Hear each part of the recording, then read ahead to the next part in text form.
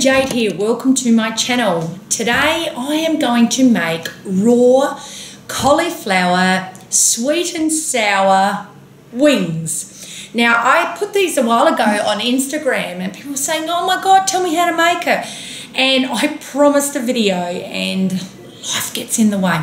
Anyway, let's do this. Okay, I love this. This is one of my favorite raw dishes. Takes a little bit of time, but once you've thrown everything together, it's actually quite easy. And like everything with a dehydrator, it takes a bit of time. Now, if you don't have a dehydrator, you can use an oven. Just keep it at um, 115 degrees, but keep the door ajar. That way you don't, it, the oven doesn't actually get too hot. I can't guarantee it'll be 100% raw, but if you're not totally pedantic on rawesomeness, this will be fine. Alternatively, you can also just bake this in the oven. It's up to you. But I am making this raw because at this point in time in my life, I am trying to eat 100% raw. Well, let's say 99% because I'll never be raw enough for most people in the raw movement. Okay, let's get this happening. So as you can see, I have a ton of cauliflower. I cut up three heads. The heads were about the size of my head and just put them into little pieces like this, little flowerets and they're ready to go. Okay, now you can see here I've got sun-dried tomatoes and I've got about six of these. They're quite small, the ones here in Vietnam. So I've got six, maybe eight. I'm not sure. I just grabbed a heap and put them in. So six to eight, depending on size. And I've also got six medjool dates, which will go into the blender. Now, you can see I've got a heap of tomatoes here. And if you have a look, I've pulled out the centre, the juice, the pulp, whatever you want to call it. I've pulled all that out. So that will go into the blender. I have a bowl full of fresh diced pineapple. If you can't get fresh in your country, don't have a stress. Get yourself canned. Get whatever you can to be as raw as possible and healthy as possible, but don't stress yourself out. Ultimately, yes, raw is best. But people want to make things and they say, oh, I haven't got that. Well, if you're not totally pedantic, just do what you have to do. So that works out to be, I reckon, about a cup and a half of pineapple. Now I have a whole lime. Now, for those who've been following me for a long time, you know I put lime or lemon into most of my mixtures whole. I don't get into the juice side of things. I like it in there. I like to get um, make my meals as alkalizing as possible. But if you're a bit paranoid about having that much lemon or lime, just squeeze the juice out. Now I have one and a half chilies. These are the long ones. You can have the little small ones which are too super hot for me. These are just right for me. I, I'm hoping. Now I'm going to start with one and I've got the half there if I need it. I'm not sure about how much flavour. Always start slowly when you're adding heat because it's easy to add more but once it's there you cannot get rid of it. One little shallot these are little purple shallots. I love these. You can use green onions or you could use onion flakes. It's up to you. I have a thumb of ginger. Oh, is anything better than that? It is so very delicious. Also have a clove of garlic, which I've just thrown in there. And then, of course, my medjool dates and sun-dried tomatoes, which will go in there. Now, this is all in the blender, and I'm going to blend it all up, and we've got our sauce ready to go on our wings.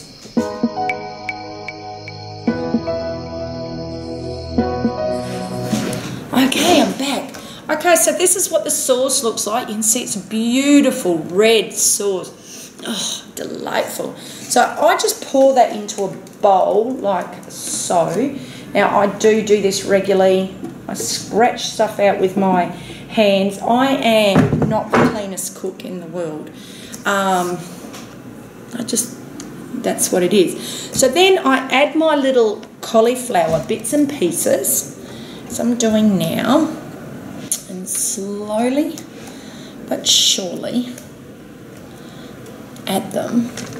onto my dehydrator tray, which I have here, I am adding on to my tray, which is great. I tell you why I love these, because there's something meaty. Now, I'm not a meat eater. I haven't eaten meat in over four years.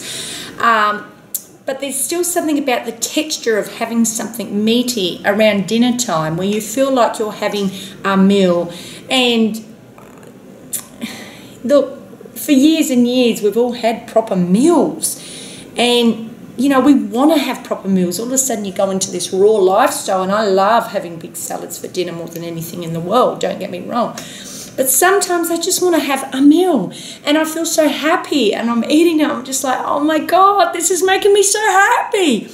And when I'm happy, I'm more likely to stick to what I'm doing. And that to me is more important than anything else, more important than perfection, more important than, oh my God, dehydrating food can be a little bit um, dehydrating. Of course, it's going to be de- more dehydrating than having a watermelon or having cucumber or lettuce or something like that. That's why I always have a beautiful salad on the side. We get that. But the thing is, for all of my life, I have eaten cooked food. And this isn't cooked, this is raw. And I still like to have meals. And staying on track is paramount. Now, I have run social media forums with many people on it, and I've seen people fail over and over. And I've failed over and over on a raw vegan diet. It's a very hard lifestyle, long term to sustain. I sustained it for nearly two years. I fell off um, for about four or five months and I got myself back on. And I declared when I came off that I was never going to be raw again. And that was because it was very hard. I was traveling, I couldn't, I didn't have a dehydrator. I have bought one now whilst I'm living in Vietnam. I didn't have access to these things and I was feeling miserable. I Was you know, I was high, I'm sick, I'm not eating my proper, having my proper food, how I was used to eating raw. But now I've got my dehydrator back again I'm just like, oh, and I only have dehydrated meals probably twice a week, but it's just enough to keep me raw. Now, I don't have an expensive dehydrator here because that's probably the next question people will ask me. I think I paid like 40 bucks for it. I do have an Excalibur dehydrator at home, and yes, they are brilliant. I highly recommend them. Um, it is a better dehydrator than my cheap one. However, this does the job. If you do not have excess money, don't think, oh my God, raw's going to be so expensive. Go and buy yourself a cheap one and it'll do the job. And it will help you sustain raw. Look, if all of a sudden you make these wings or you make my raw tacos or you make whatever raw dehydrated meal that you can see on the net, you are going to feel happier about this lifestyle, especially when you're starting out and you're getting raw vegan, uh, getting raw vegan, you're getting cravings. And you will have cooked food cravings. That's just part and parcel of being on this lifestyle. I didn't find it as I didn't find it that hard coming back um, because I knew how bad I felt and I knew what to expect. But you have to remember I'd had a lot of months years under my belt. I had set strong foundations in the past. So basically, it was like I just went on a holiday, ran a mark, and went back to where I was. But for people who are new to this lifestyle, it is hard. And I, I know people crave food. So you make something like this, and you are just going to say, wow, this has just brought raw vegan living to the next life, next level. So, I'm going to make the rest of these up and then I'm going to show you what's next. Stay tuned. so here you have it. They're all dressed. Got three trays of them. And one, just in case you don't believe me, three trays. So I've got three trays and in here I have some black and some white sesame seeds. And I just simply put them over the top. I've got about a tablespoon and a half of sesame seeds, which you won't end up consuming that many anyway because a lot will just fall on the ground. If you want to keep this overt fat free, obviously, don't put the sesame seeds on. I like them on really for cosmetic reasons. Um, sesame seeds just make everything look good. If you want to make a beautiful Instagram picture, put sesame seeds on it. Simple as that.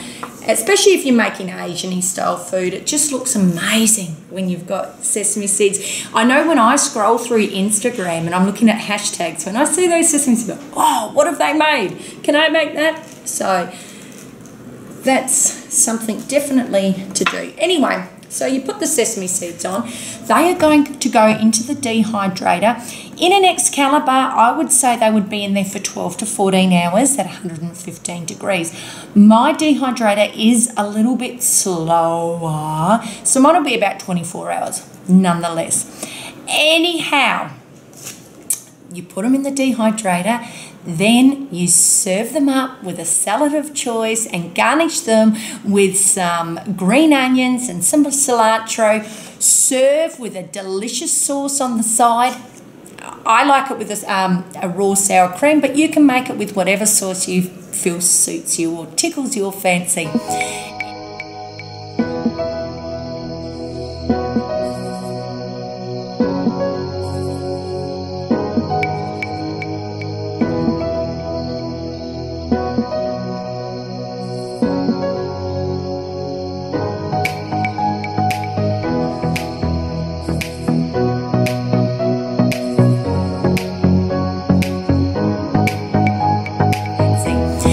Anyhow, if you like this video, give us a thumbs up, subscribe to my channel, and leave a comment below. And most importantly, love life, live free, and be kind to you.